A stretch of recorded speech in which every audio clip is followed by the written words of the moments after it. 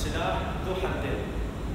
يعني إنه كل شخص فينا يمتلك هذا السلاح من خلال الهاتف أو من خلال الكاميرات اللي أصبحت أسعارها بمتناول الجميع. وبمختلف الأحجام سواء كانت كاميرات كبيرة أو صغيرة.